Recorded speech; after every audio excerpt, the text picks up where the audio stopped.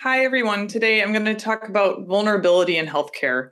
It's a topic that, although widely familiar and discussed and understood, is not very precisely defined. Uh, we'll go through uh, some of why it's hard to define what groups are vulnerable in healthcare uh, today, and then we'll also uh, go into further examples of particularly vulnerable populations uh, within military health ethics. So we'll start by defining what vulnerable is, um, and then we'll go over the concept of how, in in a sense, all patients are vulnerable. That this is broken down into to three domains of physical, emotional, and cognitive. Uh, we'll talk briefly about vulnerable populations in medical research, recognizing that Professor Giordano and Dr. Howe will also have that covered in their talk on research ethics. And then we'll get into the protected group and groups of patients made vulnerable in healthcare and give some specific examples uh, from military medicine of subordinate officers and enlisted military, which can become vulnerable groups, as well as detainees or incarcerated persons. So, when defining vulnerability, we see that it means capable of being physically or emotionally wounded, open to attack or damage. So, to organize this, vulnerability can be broken down into three domains physical, emotional, and cognitive. We'll discuss how this plays into medicine and patient vulnerability a little later on, but it effectively comes down to an asymmetry of information, access, status, power, and control. Even as we'll talk about, an asymmetry of physical positioning in the room when we talk to patients. When thinking about who's made vulnerable in healthcare, it's a topic that's not well described. In a sense, all patients are vulnerable because they're sick and they depend on someone who has an asymmetry of information and power compared to them to help them. But there's the additional echelon of the entire of entire groups of people that are made vulnerable over and above the general population of those who are ill.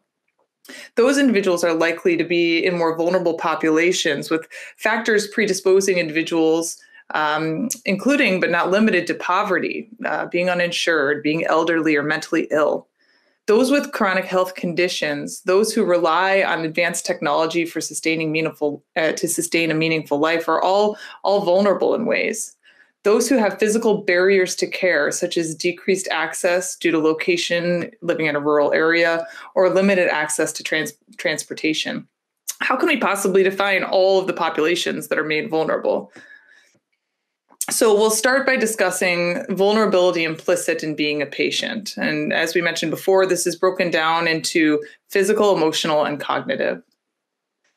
So the very way we encounter patients sets up a physical sense of vulnerability. If their illness alone didn't predispose patients to the feeling of being dependent on another for medication or for support, when we see the people in clinical setting, it's almost always in a position of power for the physician.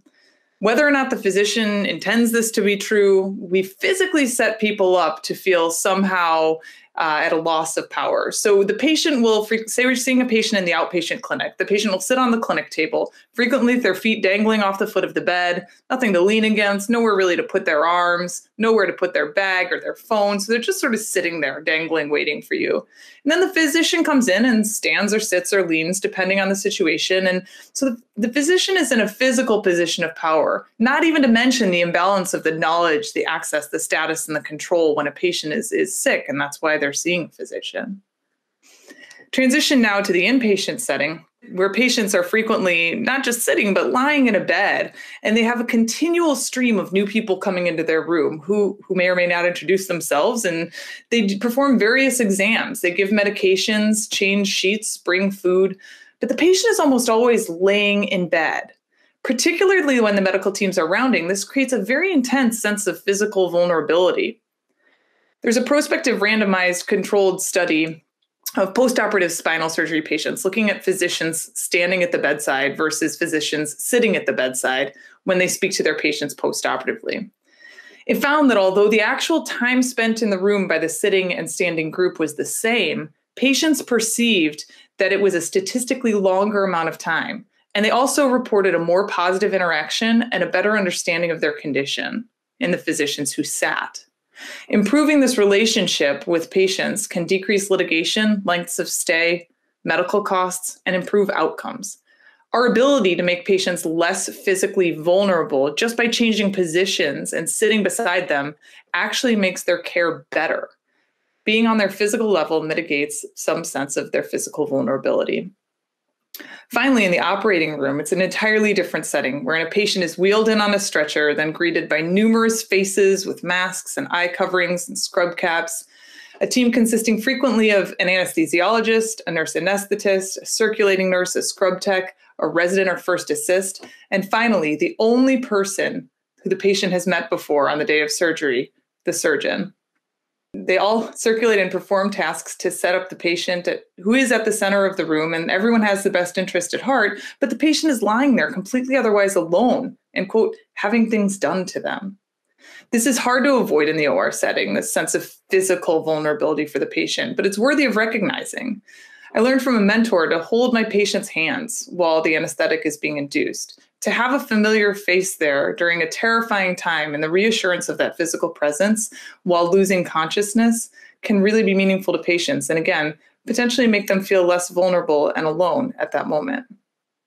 Beyond physical vulnerability is the idea of emotional vulnerability that is brought about by the fear unknown and despair that can be caused by sickness it doesn't even have to be a life threatening illness but one that makes someone feel powerless or that they've lost control this is emotionally taxing as frequently patients feel a sense of loss of a normal function, of a healthy organ that is now unhealthy, or a worsening chronic illness that they've been dealing with for a long time, but is now disabling them even further. The disease process itself puts patients in the position of relying on assistance of others for their short or long term well being, and their independence is in some way compromised. Patients who become ill and are removed from family or friends, or who are unable to travel or carry on as they previously had, are not only mourning the loss of their physical health in some aspect, but also of their social well being. This is the concept of emotional vulnerability. The idea of cognitive vulnerability brings into consideration how complex medical language is and how disease processes are difficult to be fully understood by patients. This results in many patients' limited ability to fully grasp a treatment course, the risks and benefits of interventions, possible outcomes of treatment, and the best case or worst case scenario that they may encounter during their care. Yet, we ask patients and their families all the time what treatment course they would like to proceed. And this happens with varied levels of truly informed consent. So, when a person takes their car to the mechanic for squeaking brakes, and the mechanic assesses the vehicle and tells the customer that they need new brake pads or they're likely to lose control of the car and crash, the customer will rightly say, okay, sounds good, here's your money, right? Well, unlike at the mechanic in the hospital, when there's a physical problem with a patient's body, there are frequently a couple of possible options for treatment that could work. And maybe one is better than another by the data, but it depends on what the patient's goals are, what they would like to achieve. So there's not always just one answer. Perhaps a patient would like to avoid surgery for acute appendicitis because they know themselves to have a terrible reaction to general anesthesia. And so a surgeon may offer a course of IV antibiotics for a period of time instead. If a patient is near the end of life and performing um, a therapeutic debulking of a colon tumor may increase their comfort and prolong their life for a few weeks, they may choose to do that. Or they may decide that the time they have left is, is more valuable and they don't want to risk possible complications related to an operation and the pain related to surgery. So, unlike when a person takes their car to the mechanic to be fixed, human beings have goals and preferences, which makes medical care less cookie cutter. One size does not fit all, and the whole, the bone is broken, I need to fix it, is not always the cause and effect we experience. We ask patients all the time which therapeutic option they prefer and what course of treatment will meet their goals of care. This is a big ask, given the complexities and nuances of possible complications and likely outcomes. This can become especially challenging for patients and families near the end of life. Respect for patient autonomy and the absence of guidance and patient tailored discussions with physicians can place an undue burden of decision making on families to either proceed with comfort measures, which many families will equate with pulling the plug, or continue all therapeutic and medical measures, which many families will equate with giving the patient a chance or holding out for a miracle. We can't blame families in these cases for trying something, lest they live the rest of their lives knowing that they didn't give their loved one a chance, which was an option that was laid out to them.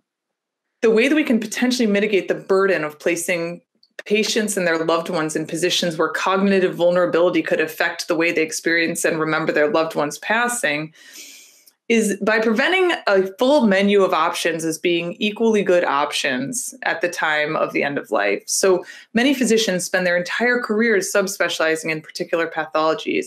And in these difficult situations, it's critical that beneficence meld with autonomy to promote shared decision making to bridge the gap of cognitive vulnerability. So, transitioning from the idea that in some senses all patients are vulnerable by the virtue of the fact that they are sick, we now focus briefly on vulnerable groups that are very well defined, and that is in the aspect in the scope of research ethics. Those groups that require specific protections due to their definition as being, quote, protected or vulnerable, as described by the FDA. So, vulnerable populations are those who may be at higher risk of any given research initiative that accommodations or adjustments may be made um, to the design of the research that takes into account the specific needs of these groups in order to minimize harm. The FDA defines them as prisoners, children, pregnant women, handicapped people, mentally disabled persons, or economically or educationally disadvantaged persons. Although some of these groups used to be totally excluded from research trials, it's now more generally accepted that they should be involved in, but with additional measures to ensure participation uh, occurs in an ethical manner. These groups are all vulnerable for different reasons, and there are restrictions for research with vulnerable groups. And this is not to go into too much detail, um, but just to point out that the Declaration of Helsinki, the Belmont Report, and other groups have laid out restrictions for research within vulnerable groups specifically pointing out that they should receive specific protections, that they should not be inappropriately included or excluded from research, particularly if the research could affect their welfare. The Council for International Organizations of Medical Sciences interestingly says that vulnerable subjects should be involved in research only when it cannot be carried out with less vulnerable subjects. This could be questioned because we learn about individuals, groups of individuals, and entire populations because of research recording the findings of what we observe. If we exclude entire groups based solely on their categorization of vulnerability, we may be denying them and ourselves a chance to learn potential differences in outcomes or responses to interventions that could allow us to better understand them and thus take better care of them. Certainly, this research needs to be done in a voluntary way with true informed consent, but can be very valuable to consider doing. For example, the incarcerated patient population, appropriately deemed to be a vulnerable group due to unethical research activity and a history of exploitation in clinical research trials, they're a very difficult group to study. But as a result, we know almost nothing about them from the medical perspective. So the United States imprisons more people than any country in the world. Currently, there are about 2.2 million people incarcerated, and that's about the size of the city of Houston. It's a large number of people, and it disproportionately favors racial and ethnic minorities. It's a relatively new phenomenon since the war on drugs in 1970, and it's gradually improving over time. But what, what is interesting is that when you look for what operations inmates have when they're incarcerated, there are no surgical data. So if we're just talking specifically about surgery in this case, if you do a PubMed search, there are no surgical outcome studies, particularly as it pertains to incarcerated patients. Incarcerated patients are not included in national databases, and it is very difficult to obtain data from facilities, making them really difficult to study. So, three of the largest national databases utilized for research do not include data from incarcerated patients. This includes the Healthcare Cost and Utilization Project, which, as it defines itself, is the nation's most comprehensive source of hospital care data. It also includes the National Cancer Database, which is a collaboration jointly sponsored by the American College of Surgeons and the American Cancer Society.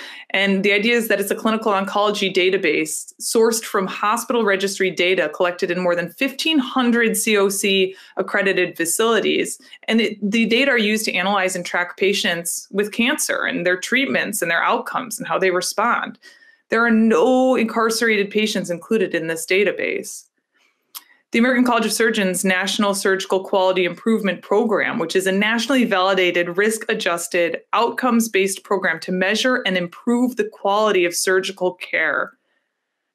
is not including any incarcerated patients, although in all of these databases, hospitals participate who take care of incarcerated patients. They're just selected out.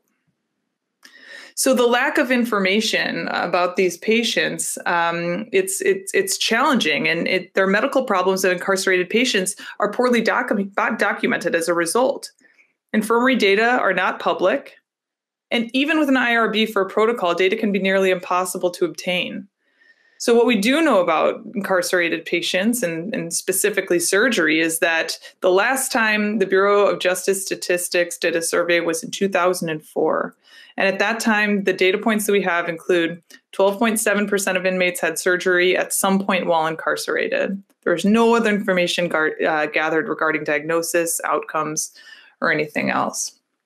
So, one thing that we have learned about the, in the medical data about the incarcerated patients is that a systematic review and meta analysis analyzing 22,000 imprisoned men and women around the world demonstrated that there was a lifetime prevalence of PTSD as high as 18% in male prisoners and as high as 40% in female prisoners.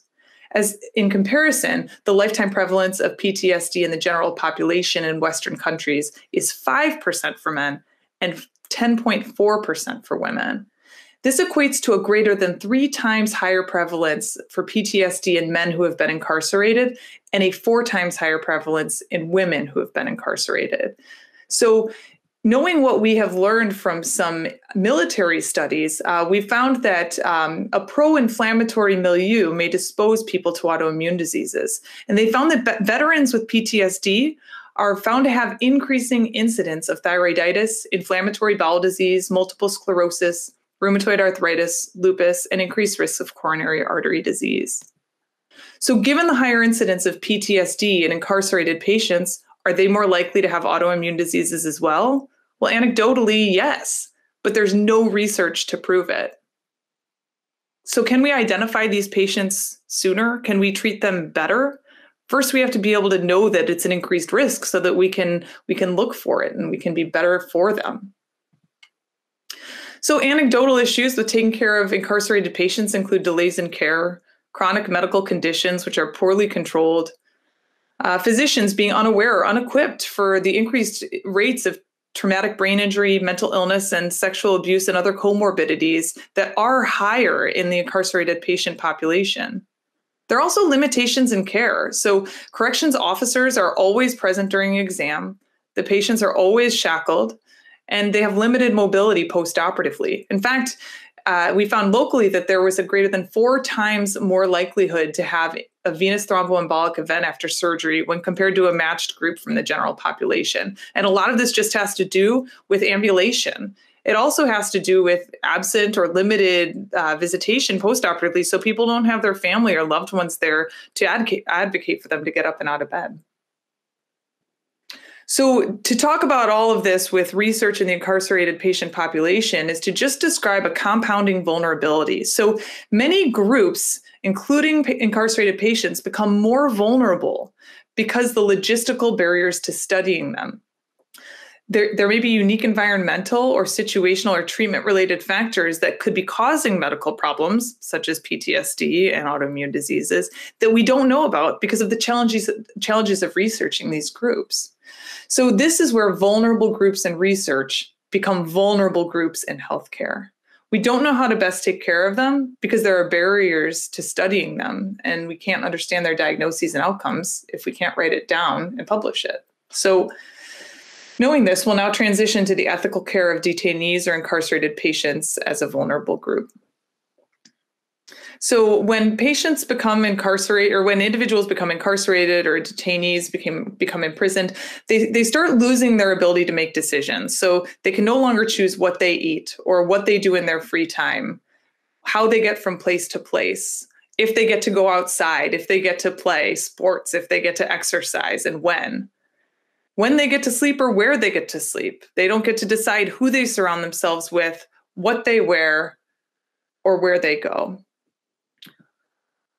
their schedule, their clothing, and their food is all outlined and run on somebody else's clock. It's run by it's run by the institution.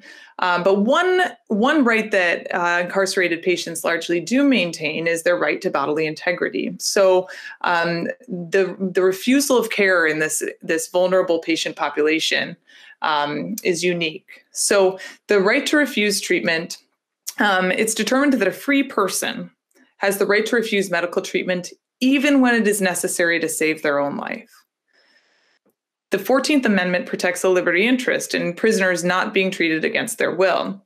So, quote, a competent person has a constitutional protected liberty interest in refusing unwanted medical treatment.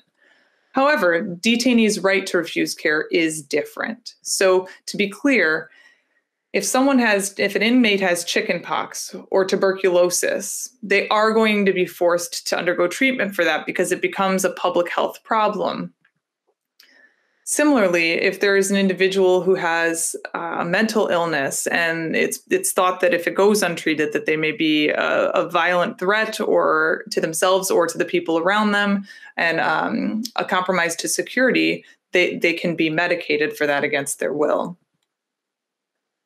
they may also be forced to accept treatment that is necessary to protect their own health from permanent injury. So, in the case of um, Washington versus Harper in 1990, Walter Harper was a mentally ill state prisoner uh, who was being made to take his antipsychotic drugs against his will. Here, he challenged the constitutionality of Washington's prison policy, contending that the involuntary administration of antipsychotic drugs without a judicial hearing deprived him of due process.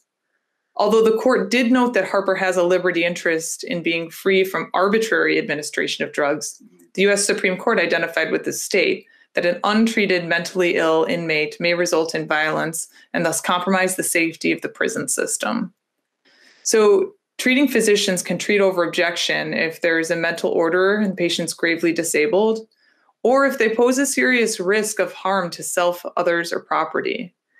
They need to undergo an appropriate hearing, including uh, presence of a non-treating phys- psychiatrist, a psychologist, and the associate superintendent of the prison. And periodic reviews are also required in order to ensure that the treating over um, refusal continues to be appropriate over time. Expert decision did satisfy Harper's right to due process in this ruling. Moreover, it was decided that due process does not require a judicial hearing before treatment because the inmate's interests were thought to be better served where the decision to medicate is made by a medical professional rather than by judges.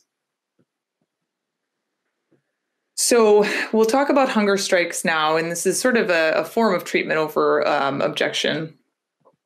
So, what is a hunger strike? Well, the World Medical Association describes it as a voluntary total fasting of taking water only for 48 to 72 hours as a means of protest.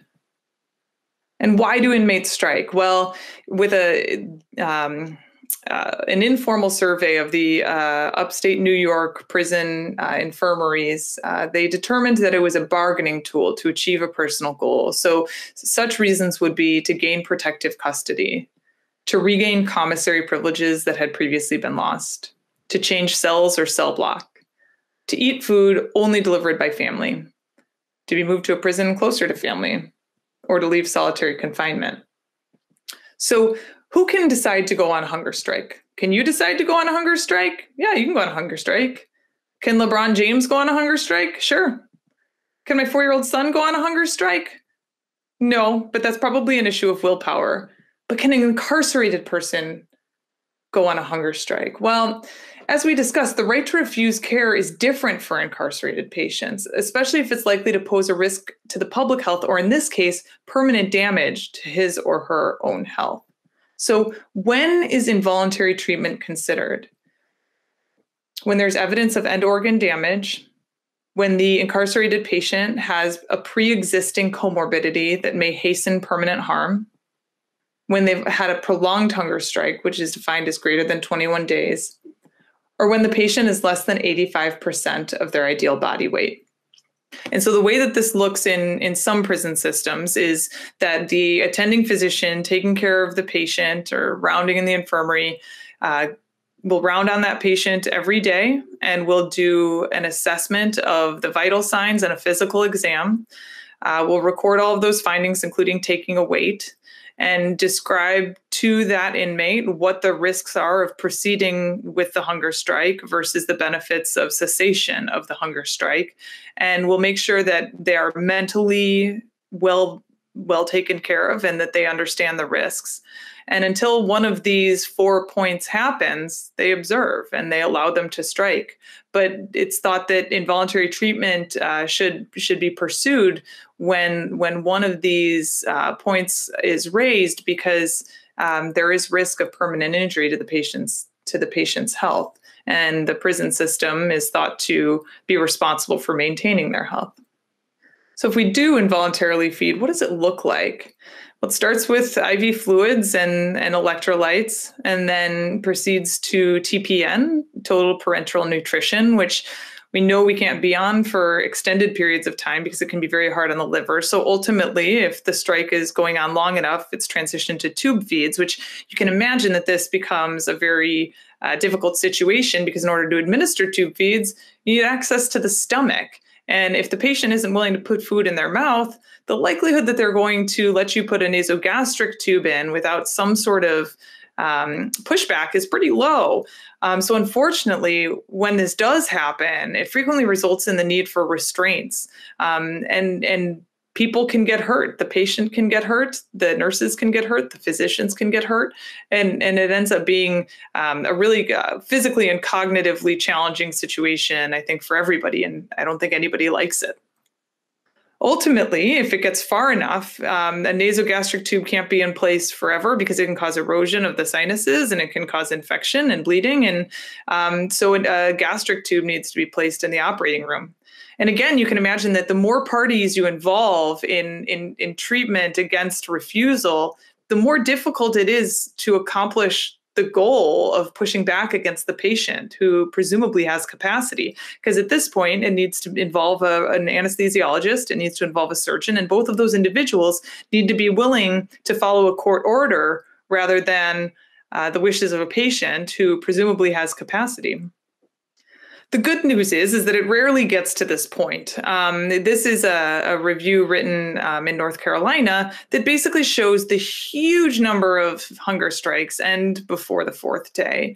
Um, there are some that proceed longer, uh, but but the large the large number of um, hunger strikes don't last too long. So the question is raised: is is it unethical to feed an adult with capacity over objection? Well, many say that it is. So, the Declaration of Malta in 1991 states that it is ethical to allow a determined hunger striker to die in dignity rather than to submit to repeated interventions against his or her will. That forcible feeding is never ethically acceptable, even if it is intended to benefit. Feeding accompanied by threats, coercion, force, or use of physical restraints is a form of inhumane and degrading treatment. Similarly, the World Medical Association Declaration of Tokyo in 1975 states that where a prisoner refuses nourishment and is considered by a physician as being capable of forming an unimpaired and rational judgment concerning the consequences of such voluntary refusal of nourishment, he or she shall not be fed artificially. The International Committee of the Red Cross states that it is opposed to force feeding or forced treatment it is essential that the detainees' choices be respected and their human dignity preserved. Although others say that it's not unethical. So, in a, in a Connecticut Supreme Court ruling in 2012, it was stated that the state's interest in a prisoner's health and safety of the institution of the out, of, of the institution outweigh a prisoner's common law right to bodily integrity, stating that it does not violate the prisoner's First and Fourteenth Amendment rights to free speech and privacy, and that the weight of international authority does not prohibit medically necessary force feeding. There were similar, similar rulings made by the New York Court of Appeals, Seventh District Court, the U.S. District Judge of California, and in the state of Utah after they did have a death of a starved inmate from a hunger strike. The Federal Bureau of Prisons policy is to not to delay feeding if an immediate threat to life or a possible permanent damage to health arises. Others have said that a hunger strike amounts to a suicidal act. So the military policy on this is is very clear. Um, and this is not just on hunger strikes, but this is care of detainees. So to go through the, the highlights of each of these points is really important. So healthcare personnel in the military have a duty in all matters affecting the physical and mental health of de- detainees to uphold humane treatment and ensure that detainees are not subject to cruel, inhuman, or degrading treatment or punishment. Healthcare personnel are also charged with the medical care of detainees to have a duty to protect the detainees' physical and mental health and to provide appropriate treatment for disease. And this care should be similar, as it points out, to the care provided to U.S. military service members. Healthcare personnel shall not certify or participate in the certification of the fitness of detainees for any form of treatment or punishment that is not in accordance with applicable law. Healthcare personnel are not to participate in application of physical restraints unless such a procedure is necessary for the protection of the physical or mental health or the safety of the detainee or necessary for the protection of other detainees or those treating, guarding, or otherwise interacting with them. Healthcare uh, agents are generally, healthcare is generally provided with consent of the detainee. However, they do have the right to refuse treatment except for life saving emergency medical care, provided the patient is incapable of providing consent, or if it is necessary to protect the public health, such as the, to prevent the spread of communicable diseases, as we discussed earlier with the chicken pox and with tuberculosis and other such communicable diseases. The medical treatment or intervention may be directed without the consent of the detainee in the case of a hunger strike, attempted suicide, or other attempted serious self harm. So, when treatment is necessary to prevent death or serious harm. Finally, involuntary treatment must be preceded by a thorough medical and mental health evaluation and counseling concerning the risks and benefits of carrying out um, uh, medically appropriate care. And it states again that the policy includes parity, in which detainees are entitled to treatment similar to that provided to U.S. service members. So here we'll transition to um, care for military service members. Um, some argue that the medical treatment of the armed forces um, uh, creates the possibility to have dual loyalties, and that the idea of having uh, vulnerable parties within um, uh, certain groups is is um, frequent. So the command structure of the military can put subordinate officers and enlist um, and the enlisted in positions of relative vulnerability as it pertains to their health. So you'd wonder are some military members volunteered for some practices due to peer pressure for fear or loss of promotion or status? Medical treatment, as deemed necessary to the mission, may supersede an individual's wishes. Existing regulations do not limit medical related orders to, to products approved by the FDA, so such as vaccinations that may be used under emergency use. Um, the uh, 10 US Code 1107 dictates a high level of approval that has to happen before non approved drugs are given to active duty to ensure sufficient informed consent. But under the UCMJ, Refusal has resulted in punitive measures, including rank reduction, docked pay, jail time, or dishonorable discharge in some cases. Although, again, it has to be a very high level of approval that um, a certain intervention has to go through before it's given to active duty. Awareness of the dual loyalties and making an effort to respect individual autonomy while safely carrying out the mission is critical. So, simply recognizing um, that dual loyalties uh, exist and that this may create a conflict between individual autonomy and, and sort of the good of the mission um, is the first step in, in trying to minimize the harm to autonomy uh, while maximizing um, the success of the mission stepping back to vulnerable groups um, as as as uh, separate from the uh, general population of, of people who are vulnerable just by virtue of the fact that they're patients. Um, so, as we talked about, um, protected groups as described by the FB, FDA for research are very clear children, prisoners, pregnant women, handicapped, mentally disabled, and economically or disadvantaged people. And there are other entire groups of people that we're not going to get into discussing uh, today, but it's not limited to the following, but v- people with varied cultural or religious beliefs, such as Jehovah's Witnesses, that the standard of care is not in their in their belief system for transfusion of blood products, for example. Um, so these patients become vulnerable by virtue of the fact that that their belief system sort of prevents the the physicians from being able to take care of them by the standard that by the standards that that they've learned to practice. Um, and so they they're at somewhat of a disadvantage for needing to represent themselves in a very clear way so that their beliefs are followed and and and um, their goals are achieved. Racial and ethnic minorities um, are another very vulnerable uh, group because of many reasons, in, including a mistrust in the system. There's implicit bias everywhere. There's there's racism everywhere, and this is something that that I think addressing and recognizing um, uh, is the first step in being able to get rid of it and and uh, demarginalize groups that are marginalized and and make less vulnerable those that are made vulnerable by these social constructs.